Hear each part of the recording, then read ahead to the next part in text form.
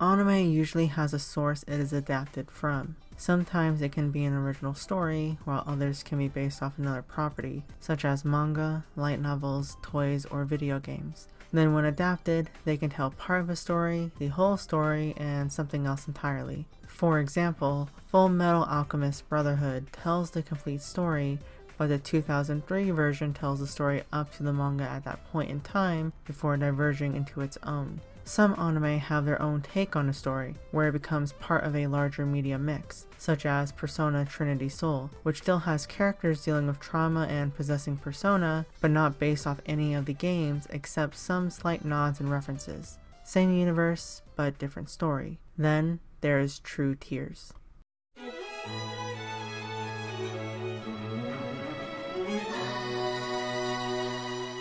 The story behind the series is one I don't think I've seen happen before because it appears to be an adaptation sharing the same title but nothing else. For context, this is PA Works' first anime series and is based off a visual novel called True Tears. The title was developed by Lacryma, a joint collaboration between developer Circus, famous for the Da Capo series, merchandiser Broccoli, publisher GameCrab, and artist Rei Izumi. The visual novel was produced by Kazutoshi Matsumura, who wanted to return to the days of old Galge with a melodramatic tone. Thus, he wanted to tell a story where it was set in the fall of the protagonist's senior year in high school for the last few weeks, because it would mirror his own experience of being the worst time in his life. You would play as them and attempt to form relationships with the key heroines. However, each girl has a tears meter, and if you go past it, you cannot continue on that girl's route so it was a visual novel where you needed to plan out your responses carefully.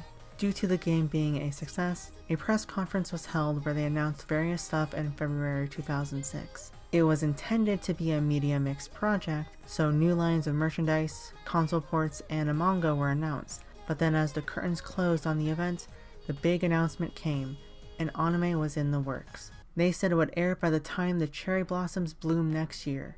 So supposedly spring 2007 or maybe summer 2007, since he also mentioned riding the waves. So when that time came, the anime aired, right? Right? No, it didn't. Actually, there were no updates at all. You see, when they first announced it, they didn't mention any staff, such as the studio, writers, or any returning Seiyu, so fans were left up in the air about what it was until more information came out. Thankfully, it came out at that summer's comic market, with a trailer and a date announcement of winter 2008. But there was a slight issue. It looked nothing like True Tears. Characters shared no defining features, setting was in Toyama Prefecture, and who is this PA Works? Some new studio? This most certainly can't bode well for the series, so what the hell happened? Unfortunately, not much is known. I scoured through interviews, commentaries, and magazines to see if I can find an answer. All that I could find is a couple interviews where one says production strayed from the original premise. This does make some sense as they licensed the game for an adaptation, and the credits still list Lacryma as the original work. Then another interview says they hired a writer to take hold of the new direction in February 2007, a month or so before the original air date. So it seems something happened during the planning stages, and possibly whatever writer they had before was replaced for a non-disclosed reason.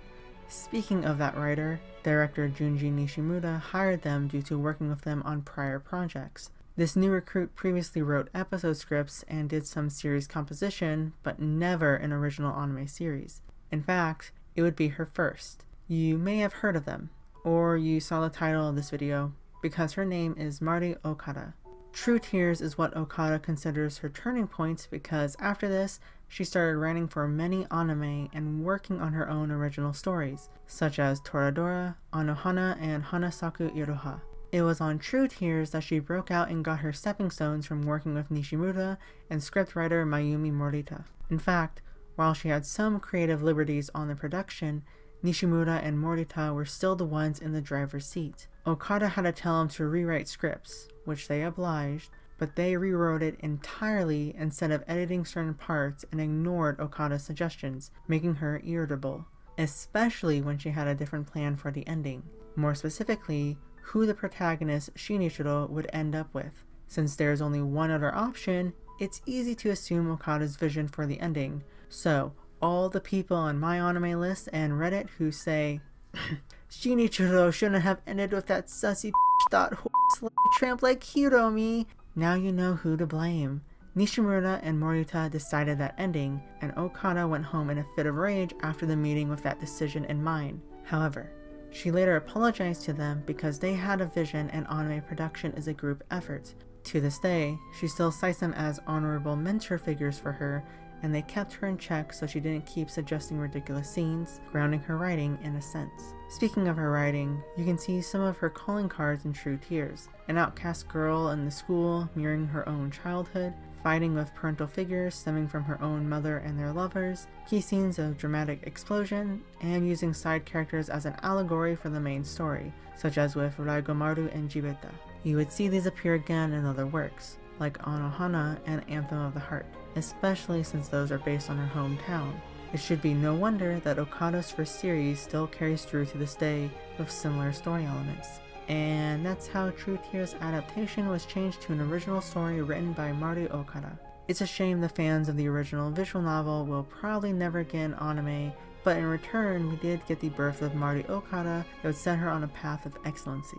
Maybe one day we will know exactly what happened during production.